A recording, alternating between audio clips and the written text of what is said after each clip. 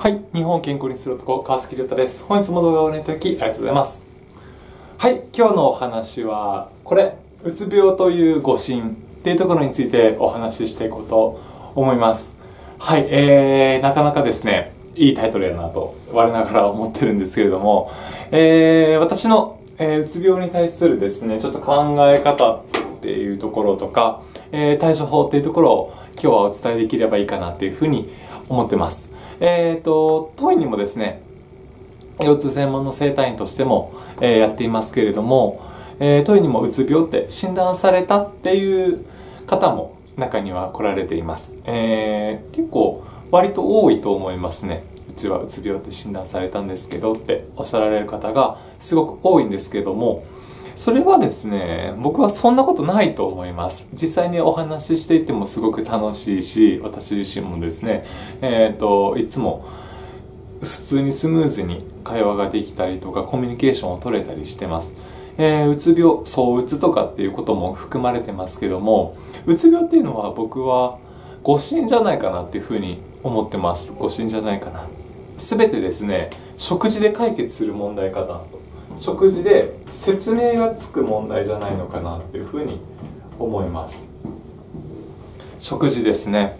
えっ、ー、とうつ病の方がですねどんなことをおっしゃられるかっていうとなんか体が疲れやすいとかですねだるいやる気がしないとか眠たいもう嫌になってくるっていう一面があったりとかえっ、ー、と、すごくハイになってイライラしたりとかですね、ストレスがかかったり、え、バーって物を喋ってしまったりとか、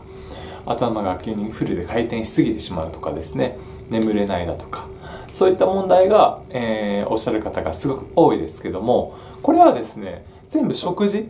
食事で説明できるかなっていうふうに思ってます。食事で説明できるかなっていうふうに思ってますし、えっ、ー、と、前回までですね、タンパク質のお話をいろいろさせていただきましたけども、そこともすごく深いつながりがあったりしますので、その辺のお話を今日はしていこうと思います。で食事でですねどう変わるかっていうことなんですけどもこれはですね一番大きいのが血糖値です血糖値。血糖値のコントロールがうまくいってない人。血糖値のコントロールがうまくいってない人が私はうつ病って病院に行くと診断されてしまうんじゃないのかなっていうふうに思ってます。どういうことかというとですね血糖値のコントロールがうまくいってない人はえっ、と、いきなりですね、まず体は低血糖の状態。低血糖の状態でいます。低血糖の状態でいて、そこからですね、うんと、食べ物を食べると、食べ物を食べると血糖値のコントロールがうまくいってないので、血糖値のコントロールがうまくいってないので、食べ物を食べるとですね、急に血糖値が跳ね上がってしまいます。跳ね上がってしまう。そうするとですね、体はびっくりして、わ血糖値急に上がったどうないしようみたいな感じになるんですね。そうするとガクンと血糖値が下がっていきます。ここで出るものがインスリンって言われるものですね。インスリン。血糖値を下げるホルモンは体の中で一つしかないって言われててインスリンですそれが。インスリン。今まで昔人間はですね、えー、と食べ物が少ない食べ物が少ない状態でずっと来てましたので血糖値を下げるホルモンはこの1種類インスリンって言われるものしかありません。これがまず出ます。インスリンが出ます。このインスリンが出ると血糖値がぐんと下がっていきます。血糖値がぐんと下がっていく。こうなってくるとこの状態低血糖の状態ですね。こうなってくると体が疲れやすい、眠れない、えー、っと、何かやる気がしないとかですね、だるいとかっていう症状が起こってきます。ここ。ここですね。だるさ。っていうところになります。全然見えてないですね。はい。だるさっていうところになってますけども、低血糖になるから体がだるくなる。体がだるくなるんですね。ただ、このままの状態だと体は動かないし、うんと何もできないので、だるい状態からまた、ここまではちょっと上げすぎですけども、また半分ぐらいの状態ですね。ここら辺まで血糖値を高めていく必要があります。血糖値を高めていく。ここ高めるためには脳内のホルモン、いろんなホルモン出ますけど、アドレナリンだったり、っていうものが代表的ですねアドレナリンって言われる代表的なホルモンが出て血糖値を今度は逆に高めてあげる必要があります。アドレナリンって聞いたことあると思うんですけどもアドレナリンはですね、えーと、パワーを出したりとか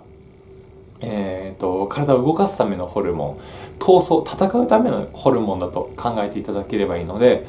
ここでアドレナリンが出ることによってですねだるい状態からイライラしやすい状態ですね。イライラ。するような状態にお体が変わってきてしまいます。つまり、えーと、この血糖値のコントロールがうまくいってない人が血糖値のコントロールがうまくいってない人が症状としては体がだるいイライラするっていう風になってきてその状態が強くなって強くなってもうどうにも動けないっていう風になってしまうと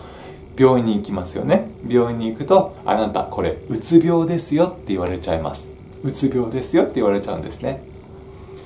ただの血糖値のコントロールがうまくいってないだけです。なのでうつ病も治っていきますしうつ病だけじゃなくてですね大きなくくりで言うと自律神経。自律神経って言われる問題ですね。こういったところも全部食事によって解決していくと思います。食事によって解決していきます。これですね。なので、えー、うつ病って言われてですね、まあ、不安に思われる方もおられると思いますしずっとお薬飲み続けている人いると思います。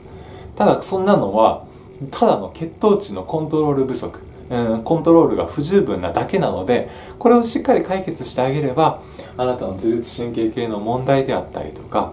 あとはうつ病とかって言われる問題も全部解決していきますのでご安心いただくといいんじゃないのかなっていうふうに思います。明日からですねこの血糖値血糖値をうまく自分でコントロールする方法これをお伝えしていきますし、えー、と前回お伝えしたタンパク質のところのお話にももう少し触れていけるかなと思いますのでそちらの動画をお楽しみにしていただければと思います。はい、えー、本日のお話は以上となります。わからないことあれば下にホームページのリンク貼ってますので、そこからご質問ください。えー、本日も動画をご覧いただきありがとうございました。